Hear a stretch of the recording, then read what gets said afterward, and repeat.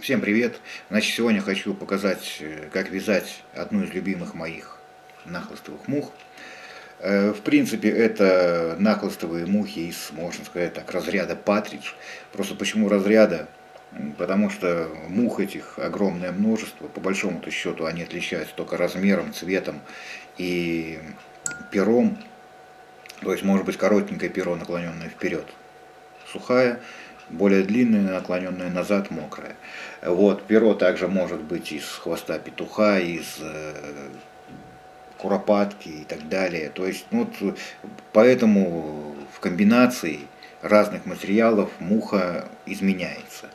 Но принцип-то ее один и тот же, то есть наматывается тело, задается цвет и устанавливается перо в зависимости от водоемов и в зависимости от наших каких-то предпочтений. Также тело это можно намотать из э, каких-то других материалов, из дабинга, из э, павлина. Но об этом будет рассказано немножко в других видео. Давайте посмотрим, как сделать самый элементарный патридж. Э, я буду сегодня использовать как основной цвет вот такую вот нитку. Значит, это шелк Но также можно еще использовать очень хорошо, но я сейчас рассказываю только свои какие-то предпочтения, очень хорошо работает вот такой вот желтый. Э, немножечко, ну тоже хорошо, скажем, вот такой вот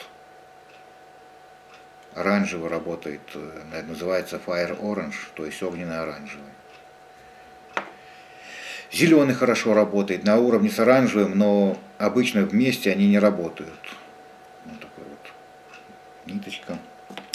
Неплохо работает олива, но почему-то у меня она работает только летом. Ни осенью, ни весной она не работает. Потом э, ни разу у меня не удалось на серый патридж, на грей, ничего не удалось поймать. Терпимо работает.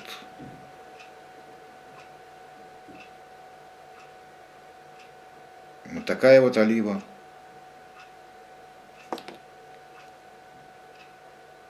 Вот это, я прошу прощения, вот это олив грин называется, а это просто олива. Немножко половили летом на фиолетовый. Ну и потом вот такие вот уже оттенки идут э, голубой, синий. Тоже буквально пару дней каких-то там был дурной клев на эту на этот цвет, а потом просто почему-то перестала клевать. Вот а оранжевый я уже показывал. Э, две нитки, что одна, что вторая, называется оранж. Но если мы посмотрим, одна более такая темная, другая более яркая. Это разные производители. Но везде называется оранж. Так что не всегда получается угадать цвет, и очень часто приходится выбирать э, на глаз. Да, к тому же еще нужно сказать, что вот такой вот розовый цвет, почему-то в этом году это хит сезона, и на этот цвет очень хорошо ловилась рыба. Вот. Кстати, вот такой вот еще тоже цвет очень хороший, и тоже один из моих любимых, на него тоже очень хорошо клюет. Это флуоресцентный э, Fire Orange. Значит, берем сейчас фонарик.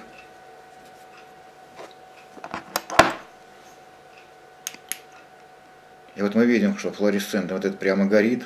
Все остальные цвета, но вы, наверное, плохо видите, потому что лампа ярко светит. Все остальные цвета, они не флуоресцируют. Вот, но именно что бывает иногда, именно что нужно, чтобы нитка была флуоресцентная. Значит, э, ладно, хватит разглагольствования, хватит все это рассказов. Я думаю, вы и сами сможете без меня все это выяснить. Значит, берем вот такой вот крючок. Э, в принципе, крючки могут быть больше, меньше. Но, как правило, они прямые. Можно использовать крученые, но крученые в основном, как мои наблюдения, лучше использовать для э, мокрой мушки, для сухой лучше все-таки почему-то прямой использовать. Никаких здесь хвостиков, ничего нету. Значит, вот взял я вот этот крючок, ну, наверное, потому что они просто под рукой были. Ну и как бы сказать, это средний размер, самый такой, можно сказать, оптимальный. Как э, монтажку будем использовать э, черную 8.0. Закрепляем ниточку.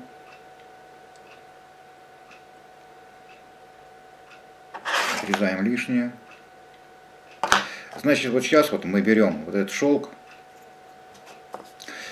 я вот хотел сначала показать вот такой вот, но обратил внимание, что у меня в коробочке вот этого почти нету. То есть более темные есть, более светлых нету. Так что давайте я сделаю более светлых парочку мушек. Ну, конечно, покажу одну, но для себя лично там сделаю еще немножко, чтобы они были. Значит, вот эту вот нитку, ее лучше не использовать через бобинодержатель, потому что эта нитка начинает ворситься. Значит, мы эту нитку или можем взять под резиночку, вот под такую, как вот я показывал, и как сделать ее, у меня все это есть на канале, можете посмотреть. Или я просто вот беру, допустим, отматываю. Вот я знаю, что я сегодня хочу штуки 4 таких мухи связать, чтобы были. Вот пока что мне вот такого кусочка хватит.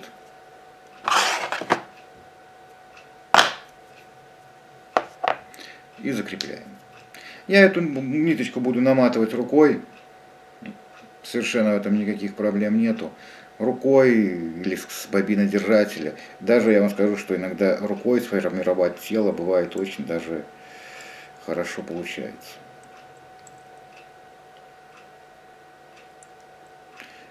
До загиба мотаем и уводим ниточку к тому месту, где у нас э, должно крепиться перо. Ну, это где-то, если взять вот все тело, длину, это где-то 1 пятая.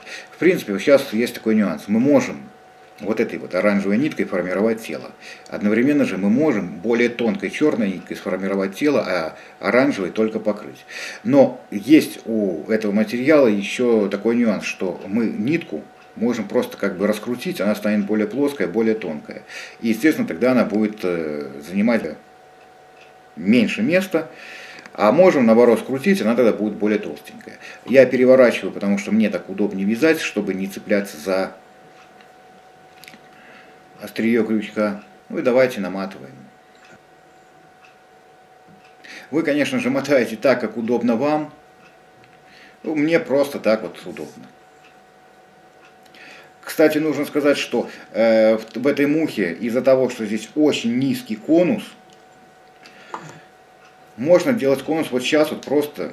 Э, сначала я начал этой ниткой плести плоской, вот сейчас же мы можем просто ее закрутить для того, чтобы э, увеличить конус, чтобы не делать второй слой, а чтобы у нас было аккуратное тонкое тело у мушки. А можем э, сделать более тонкой черной ниточкой, добавить конусность Потому что конусность, как известно, в нахлыстовых мушках очень важное дело. Ну, собственно говоря, все, я дошел до того места, где надо крепить нитку. Закрепляем ее тремя оборотами. Лишнее обрезаем. Из нее у нас получится еще несколько мушек. Еще пару оборотов. И сейчас можно сюда закрепить перышко гризли.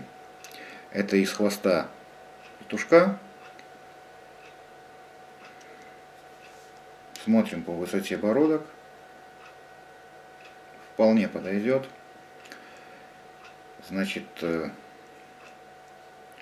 распушаем. Здесь нужно, вот именно в этой мушке, э, нужно сделать э, буквально пером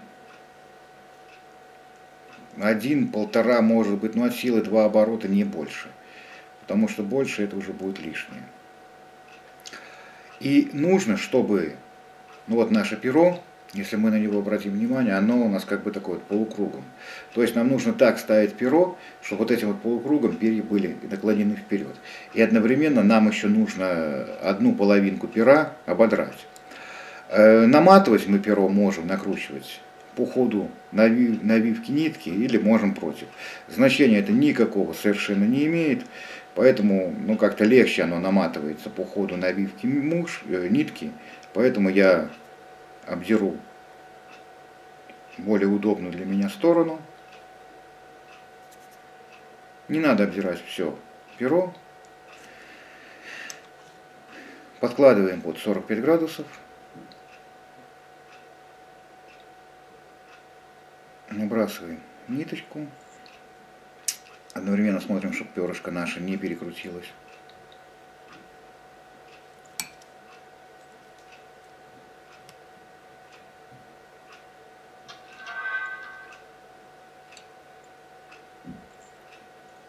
Уводим нитку к колечку. Буквально три оборота для того, чтобы прихватить перо, хватит. Вот. И сейчас делаем перышком один,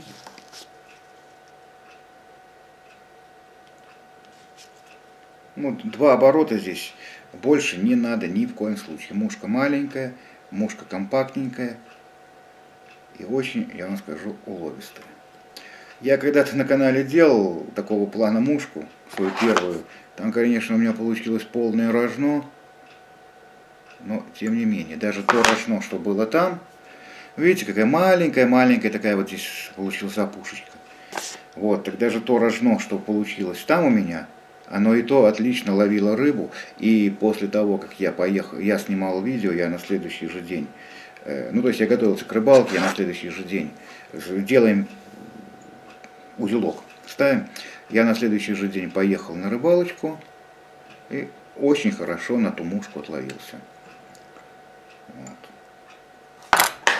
Здесь есть тоже один нюанс, что когда ловишь на свою мушку, от этого испытывается определенное удовольствие. Все, обрезали ниточку, разровняли наше перышко.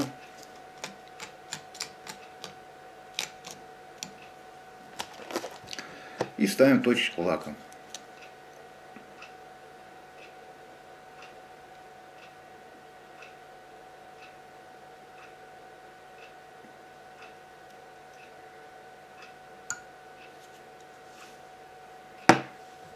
Все. Наша мушка готова. На этом все, что я хотел сказать. Я сказал другие варианты этой мухи. Конечно, я не буду показывать все цвета всевозможные. Вот, э, возможно, я покажу еще другие варианты создания тела. Э, но, собственно говоря, все это делается одинаково.